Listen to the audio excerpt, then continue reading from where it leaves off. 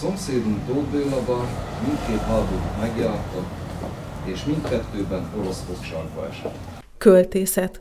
Az a művészet, melynek közege az emberi beszéd, az emberi lélek művészi tevékenysége, az irodalom legmagasabb foka, a valóság tükre, a lélek balzsama.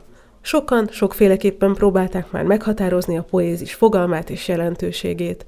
Így tettek azok a közép-kelet-európai költők is, akik a Hévízi Városi Könyvtárban gyűltek össze egy kerekasztal beszélgetés keretein belül, hogy a költészet lényegéről és felelősségéről is szót ejtsenek.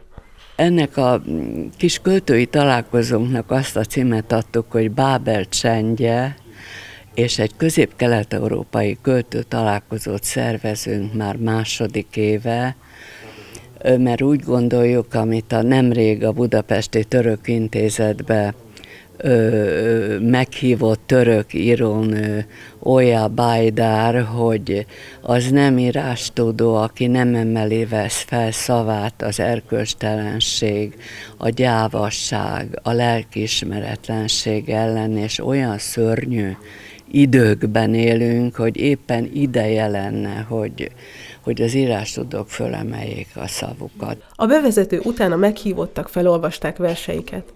A külföldi szerzők magyar nyelvre fordított műveinek tolmácsolásában Mandics György író-műfordító működött közre.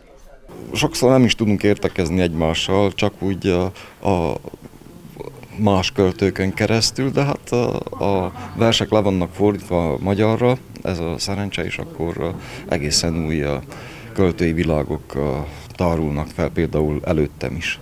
A jelenlévők úgy gondolják, az irodalomnak nincs vége, hiszen az internet lehetőséget biztosít arra is, hogy a művek minél több olvasóhoz eljussanak. A közösségű szellemű irodalom célja, hogy olvasókat szerezzen, ezt is nagyon fontosnak tartják. A rendezvény kötetlen beszélgetéssel ért véget.